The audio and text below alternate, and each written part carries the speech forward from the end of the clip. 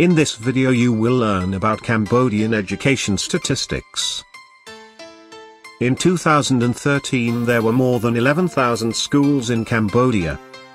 About 10,000 schools were in rural area. And more than 1,000 schools were in urban area. Here is a number of school and classes. And the number of school and classes for different categories. Here is a number of schools, students and teachers, in each provinces.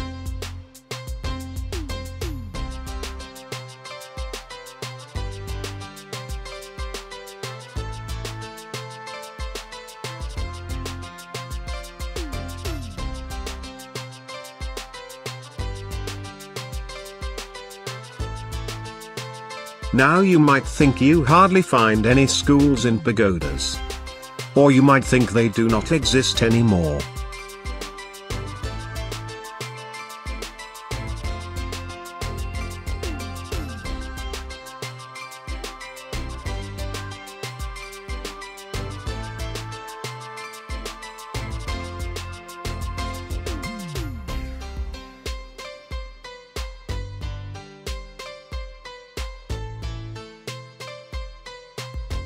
When you were a student you found that you had new classmates every year.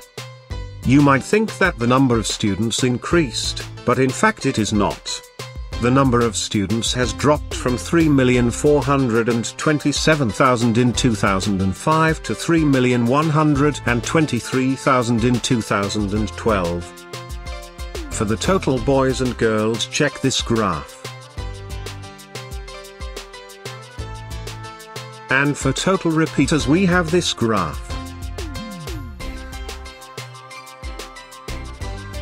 You will also notice the number of repeater has dramatically dropped. What is the reason behind this? We think you know it. Take a look at this graph.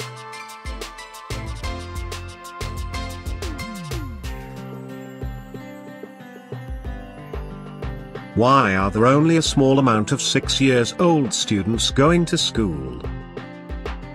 Why has the number of students dramatically dropped after 11 years old? Why? Why? Why? There are many answers to the questions why. We hope these statistics will make you pay more attention to the education of Cambodia's youths.